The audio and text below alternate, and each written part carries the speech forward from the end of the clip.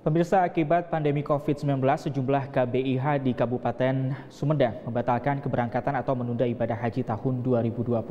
Pembatalan atau penundaan keberangkatan melahirkan kekhawatiran tersendiri bagi calon jemaah haji. Akibat pandemi COVID-19, sejumlah KBIH di Kabupaten Sumedang membatalkan keberangkatan atau menunda ibadah haji tahun 2020. Salah satunya yakni KBIH Anur. KBIH tersebut pada tahun ini terpaksa membatalkan atau menunda keberangkatan 190 calon jamaah haji. Menurut Ketua KBIH Anur Sandi Prasasti, jamaah haji yang gagal berangkat sebagian besar yakni jamaah haji yang daftar pada tahun 2012 dan 2013.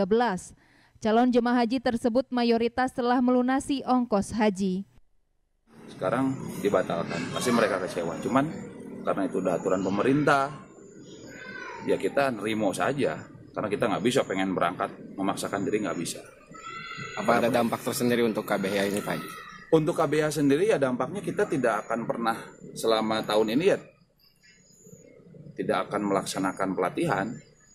Dampaknya secara sosial kita sih tidak bisa bareng-bareng lagi sama jemaah mempelajari. Calon jemaah haji yang batal berangkat pada tahun ini rencananya akan diberangkatkan ke Tanah Suci pada tahun 2021. Diki Guntara, Bandung TV.